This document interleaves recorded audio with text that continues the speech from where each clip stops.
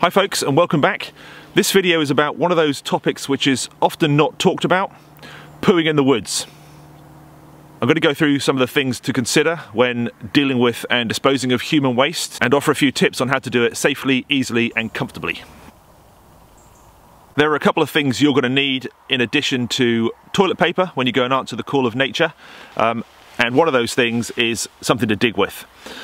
You're going to need to dig a hole to dispose of your human waste um, and that hole needs to be at least 15 centimetres or 6 inches deep. So something to dig with is essential. If I'm backpacking or doing anything where size and weight is critical, I'll take this small trowel here. It, it slides together like this so it's, it's compact for packing away and then just locks into place. And that, although small, does a good job of digging a small hole. The nice thing about this one is that the cap on the end of the handle comes off and there's a little hole, a little void in the handle. And in there, I keep a lighter, which I'll come onto in a minute, and a small pack of emergency toilet paper in case I've run out. And that then becomes a complete toileting kit.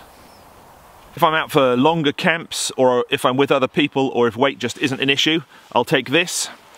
This is a, a military folding entrenching tool and this really does make short work of digging a cat hole for toilet purposes. It collapses down and folds so it's easier for transporting and carrying, but it is quite heavy as it is steel construction. And another thing that I would strongly recommend is some sort of hand sanitizer. This is a an alcohol hand gel and it kills all those bacteria. You know, when you're out in the woods and you haven't got proper hand washing facilities, um, going to the toilet, obviously there is a risk of germs and germ spreading, so do yourself a favour and sanitize your hands afterwards.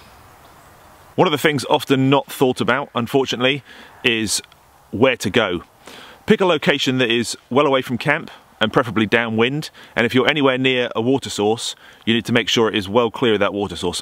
50 metres, 50 yards at least ideally. Dig your hole, do what you need to do, and then there's much less chance of that human waste leaching into the water source. Digging a hole is really important because animals have a tendency to, to dig it up, especially dogs. So if you have a dog with you, it's a good idea to, to just tie your dog up while you go and do what you need to do.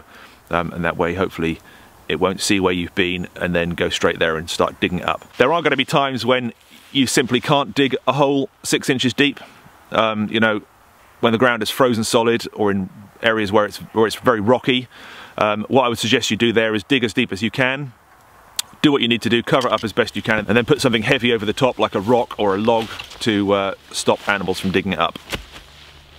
Once you've been to the toilet, you're going to have some toilet paper to dispose of, and the temptation is just to chuck it in the hole along with your human waste and bury it. However, toilet paper doesn't decompose as quickly as you think it would. My advice is to always either take it out with you, and you can put a couple of bags in with your toilet kit for that purpose, or better still to burn it and I tend to just burn it there and then. Your alcohol hand gel comes in useful here again because a little squirt of that on the toilet paper makes sure that it catches and burns through and then you can just bury the ashes along with your droppings. Right, now we've got all the health and hygiene stuff out the way, I thought I'd go through four techniques that I use when going to the toilet in the woods and they are the lean, the hang, the balance and the squat. First up is the classic lean.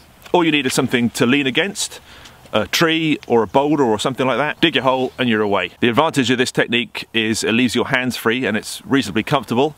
Uh, the downside is that if you are using a tree to lean against, it can be quite difficult to dig your hole because of roots. And if you're somebody who likes to take their time, uh, it can be a bit tiring on the legs. Next up is what I like to call the hang. Uh, you just need to pick yourself a good sturdy branch that you can hang off. Uh, make sure it's not one that's going to suddenly snap on you because that would be unpleasant at best. It's quite comfortable and being further away from the tree, digging is easier because you generally don't have the roots to deal with. The third technique is the balance.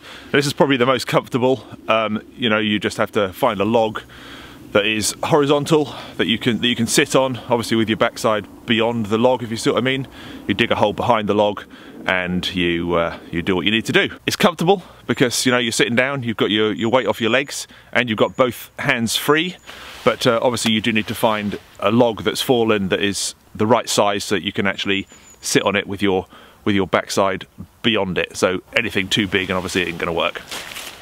And then lastly we've got the squat. It's not my favourite technique but if you haven't got a tree around or anything you can lean against or hold on to it might be your only option. It's not very comfortable and you have to be very careful about not letting your waste drop into your trousers, which are obviously almost right in the way because of the way you're because of the way you're squatting. So there you go. A bit of an unusual video, I know, but something I felt had to be done. Thanks for watching, and I'll see you soon.